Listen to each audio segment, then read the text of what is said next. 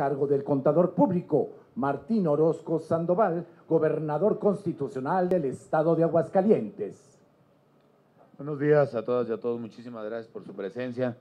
Gracias, alcalde, por recibirnos aquí en, siempre digo, el, el primer municipio del estado, no es el último, ¿verdad?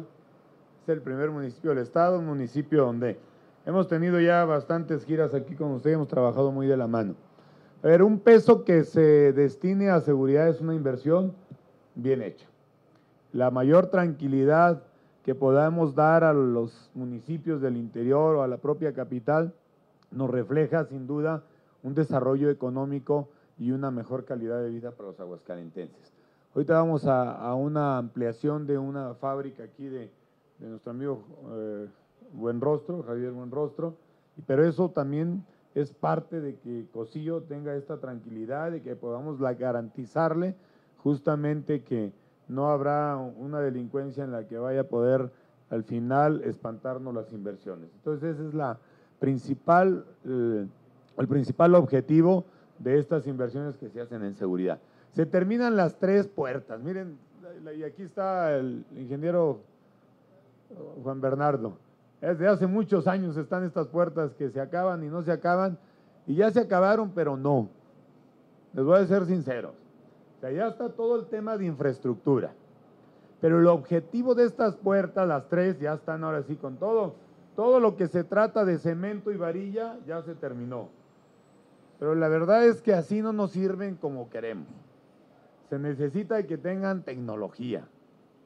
Realmente, que tengan cámaras, que tengan rayos ultravioletas o lo que sea necesario, ¿no? Pero que tengan realmente lo que se requiere y lo que existe ahorita en la actualidad de la tecnología para hacer de la seguridad pues mayor con mayor eficiencia. Y ese ese presupuesto también ya está listo. Ya también viene en, en el C5 la cuarta puerta que es hacia Calvillo, también ya está presupuestada, ¿verdad, secretario? En el C5. Y toda la inversión en tecnología como supongo que en aquellos años, Bernardo, así era la, el objetivo, ¿no? Así era el proyecto.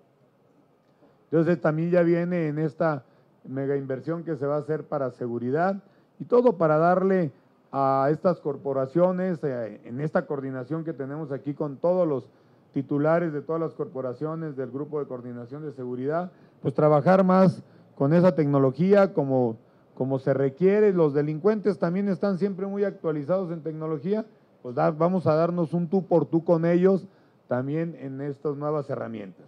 Entonces las próximas inversiones vienen en este sentido, por lo cual pues ya está terminado en el cemento, pero todavía les faltan muchos aparatitos.